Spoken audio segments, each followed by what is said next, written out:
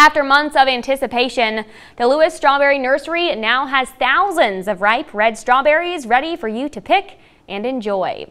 Dozens of people turned out today to wander through the acres of berries and make their perfect selections, filling up a basket with as many as they could squeeze inside.